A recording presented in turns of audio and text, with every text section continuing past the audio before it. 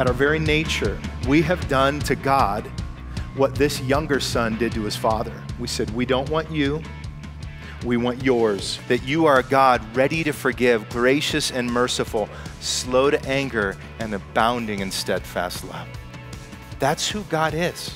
That is the nature of our holy yet compassionate God. That is the nature of a God who is different and distinct and separate and above, and yet by his grace pursues you and I.